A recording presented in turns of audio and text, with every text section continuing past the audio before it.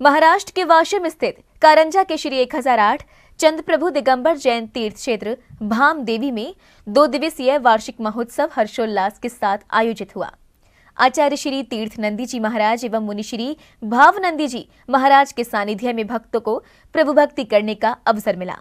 श्री एक हज़ार आठ चंद प्रभु दिगंबर जैन तीर्थ क्षेत्र, भाम देवी कारंजा में श्री एक हज़ार आठ चंद प्रभु भगवान के जन्मोत्सव के साथ तीर्थ क्षेत्र का वार्षिक उत्सव हर्षोल्लास के साथ मनाया गया। इस अवसर पर भक्तों ने प्रभु भक्ति का आनंद उठाते हुए प्रभु का अभिषेक करने का सौभाग्य प्राप्त किया।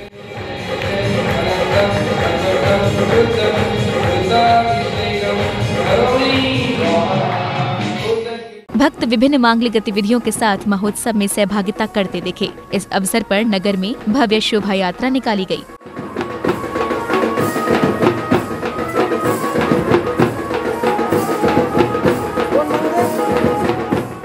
संध्या काल में भक्तों ने चंद्र प्रभु को पालना झुलाते हुए प्रभु भक्ति का आनंद उठाया।